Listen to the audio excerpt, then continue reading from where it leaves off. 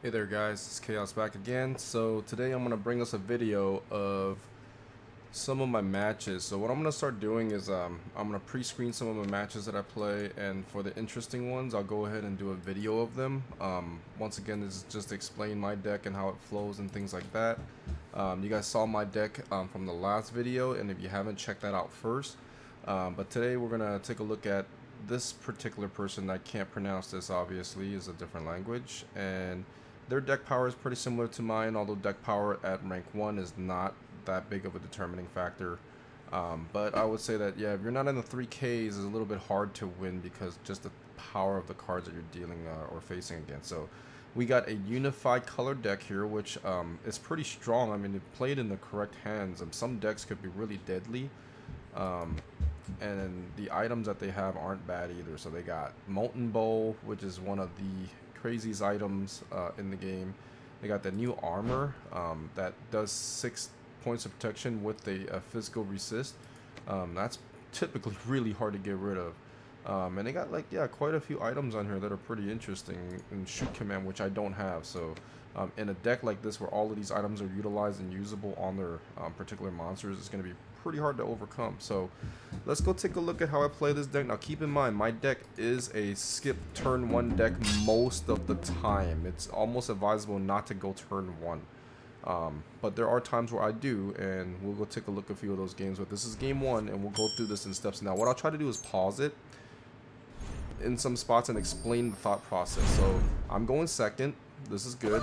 We'll go ahead and let them drop to something to see what we could play against, right? So with this in my starting hand, you can take a look here. It's always nice to see Void Element because this gets your tempo, this gets your ramping up. And if they're not sacking anything, even better because they're playing a very slow burn deck. Um, when you burn really quickly, that means you're going to get the superior numbers, you're going to get the quality on the board. And if they do not start to sack, they have lost the game.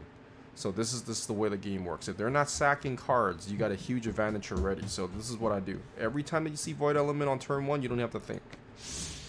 So they sack a card. So they do sack a card. So I sack Void Element. Now what I did there was I skipped turn one, but look at what I lost. I lost Blue Dragon. And a lot of people might think, man, that's a staple in a deck, especially my Blue Dragon's max level right now. So I spent a lot upgrading that thing. Um, but it's here, here's what the thought process is behind that, right? So I sacked them. I got six um, out right now. I could have dropped Banner Parrot. Um, and then since this came out after that, I could have dropped this on it, right? And then this could have been tanking something, and I would have one uh, crystal left. But I would have done four plus three damage would have been seven. So I wouldn't have killed it, and the good chance this guy does a retaliation and actually hit him back. Um, so what's the point of dropping something if I can't get rid of what they have out on the board, and I'm setting myself up to get hit? So I'd rather lose a full-blown blue dragon that I did not spend five crystals on and go with whatever it is that, you know, they want to do on the next turn. So now they have their elixir and um, they gone ahead and uh, sack. And this is cardinal sin of playing this game. I have nothing for you to hit. What are you doing dropping three naked monsters and you have armor sitting right up here? The smart play would have been to maybe just armor up um what is this Lizard? Um just armor him up and then see if I could kill eight damage worth of thorns and retaliation. I would not have dropped these two guys because now you're just putting them out there for me to hit. It's like you're not intimidating anybody if there's nothing on the board right? So this is a very bad play in a very high rank game so now they don't have any reserves. So whatever I kill, I mean, they're not going to make it back. So of course, you see Void Element, sack them. Look at that, 12 crystals. And I got Goblin Bomber. And the reason why I put Goblin Bomber out first is because Banner Parrot is essential. If I draw Falcon Rider on this draw here, I can still drop them, and then I know the next card will be a tank because I do not have any more cards that are not tanks in this deck. I already got rid of my two Void Elements and I already got rid of one range and if another range comes up I could drop that as well or banner parrot and the next card will be a tank and the tanks could be acolyte for three it could be chaos dragon for four and it could be um, blue dragon for five now I already sacked this turn so the max I could play right now is going to be the five card so any card that comes up after dropping banner parrot I will be able to play. So let's see what comes up.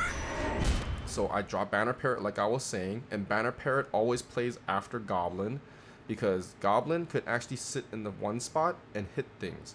So Banner Parrot is probably the least likely to be in spot one for me by choice. If anything, this is the last card in my deck that I would place in spot one. So it is always going to sit as close to spot three as possible.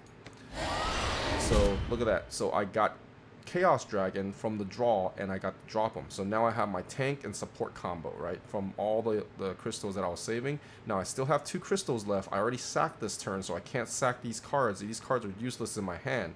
Now, these cards are the only three cost cards in my deck along with um, the fighting gloves. So chances of me drawing a two cost card on the next draw is huge. So now I can't do anything else, so let's see what progresses from here. So I got a really lucky roll uh, with that. So basically what that turn had given me was a safe from death. Uh, because I got a 3 damage from here and a 4 from here. Now, it would have took Falcon Rider down to uh, 2 points. Um, and then this guy would have 2 points, right? So if either one of these guys would have rolled a 2 on either side, it would have killed something. Um, so the chances are would have killed some stuff. And if I would have like had them live, then yeah, my Goblin Rider would have died, and that would have been horrible. Um, but sometimes you win some, sometimes you lose some, right? So those are the rolls that you get with Chaos damage. So this is where, you know, Chaos Dragon could have hit this, and I would have been in like a super good position. But because it hit in the middle, um, Banner Parrot got to stay alive, and it will do some damage to me next turn. So they're sacking. This guy knows what he's doing. He's sacking cards. He's now the one mistake that he has made here this should have been put on Banner Parrot because you do not get double uh, morale um, if you have them on two separate sources. By buffing this to a plus three, um, this would have been a five. This would have been a five. I would have lost Goblin, and this would have been down to one health. Um, I think that's a mistake by not killing um, at least Goblin to force me to play something on my next turn and force me to use my crystals. So I don't like this play. I know the reason why they did is because this guy's going to stay alive longer than Banner Parrot. But when you have a chance to kill something, you do it. That's as simple as that. There's no if and buts about that. So that turn completely turned around on him because now I have full damage coming right back at him and all of these guys are armorless. So you could already tell this guy's dead. You could already tell this guy's going to be in a world of hurt. Um, and then I got Chaos Dragon that would randomly hit something, right? So check this out. So I sack a card that I can't play, right? I'm not going to play Obsidian Spears. Useless, and I do not want to trigger this. So why would I play that? So I sacked it. I put the um, Armor of Darkness on my Chaos Dragon because once you put this on a tank with flying in the front, you've just bought yourself a hell of a lot of turns. Um, and then now I have this protecting my Banner Parrot because like I said, Banner Parrot to me is pretty important.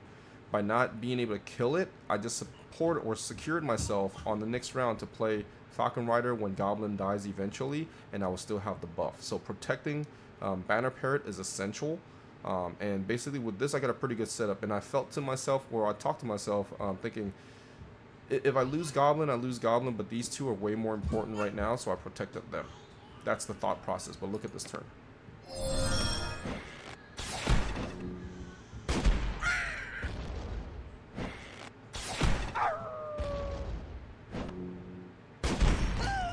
So that's a board clear. Obviously, you cannot plan for that with chaos damage. But once again, needing a 2 out of 5 is not much to ask for. Um, basically to kill, you know, either one of these guys on the side, right? The 6 is a little bit absurd, but this is the beauty of Chaos Dragon. I, I said in my deck video that Chaos Dragon is really undervalued because this guy has no melee damage. The tank that they put out, um, I think the guy was named Lizard. Um, so the tank that they put out has a counter to things that hit it with melee. It never triggered because I used Chaos Dragon. And Chaos Dragon helps in this scenario because remember, my deck is based on killing spots 2 and 3. I do not care if Chaos Dragon doesn't hit spot 1 because I don't care about that spot. It, it's rare that I meet something that would be able to kill Chaos Dragon. Um, and if it does kill Chaos Dragon, well, I got a blue dragon, you know, usually in my games that I could put out here um, and I can still tank. Um, but if this guy hits either of the sides, it usually gets rid of the things on the sides along with the help of these guys. So this is such a good tank. I mean, it is such a good card. Whatever they put in the middle just gets completely either ignored or trashed, and you'll see as we're coming up. So now it's his turn again. So this guy's sacking a whole bunch of stuff, and fortunately for them, their chaos damage triggered on the one place where it benefits them the most. Um, and then they put um, the shield on the lobster, but guess what? I mean, this bypasses the lobster's defense, so check this out. So they get a good roll, and they took out my Armor of Darkness, right? But the Armor of Darkness doesn't really proc anyway, so now the thought process is what I do from here, right? And the answer is pretty simple. I would do Falcon Rider in spot 2. I would put armor back on my tank, and then we go from there. And I would not have to do any sacking or anything like that. The game now just plays itself.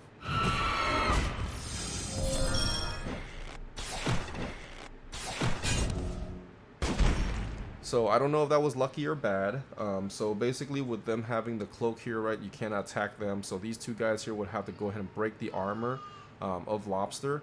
And my 6 damage, if it would have hit here, would have been beautiful, right? So, I mean, I'm not going to complain with a 6 damage, but it hit this guy. And these guys won't be able to finish him off unless I get another lucky roll.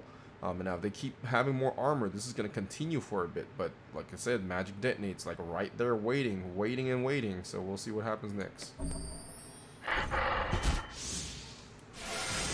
So this is a deadly combo. Um, this guy here is so amazing because I mean they could one shot uh, basically anything with six damage like right off the bat, right? And it has a ton of health.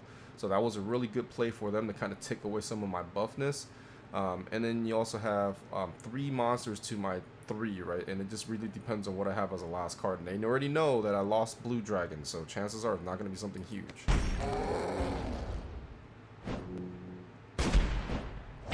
So Blue Dragon or Chaos Dragon tank all day. Now this play is important. Um, Falcon Rider for me almost always sit in this spot, and the reason why that is is because Falcon Rider, in the case that I lose my last tank, is a flying creature. So things like Lobster might miss against Falcon Rider. So if it ever gets to a point where it does trickle into the spot one, um, it will always play in front of Banner Parrot. And you guys already heard me earlier saying that Banner Parrot always needs to be as close to 3 as possible. But in this scenario, it's different. And the reason why that is because if you look at the math here, right, it's really easy. You got 2 plus 3 is 5, plus 2 is 7. That kills this guy because magic directly hits across and then the, um, the archery or the range will hit direct uh, or diagonally across. So in this instance, this is where I break my own rule and I will put Acolyte here and then kill this guy with these two attacks and then now I have free reign to kind of do whatever I want with the rest of this.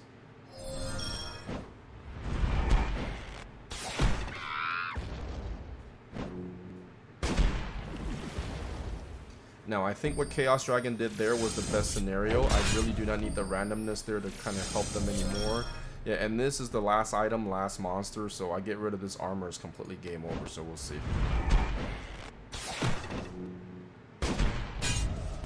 So, I mean, there's not much you can do, right? Lobster against one of my favorite tanks right now in the game, Chaos Dragon.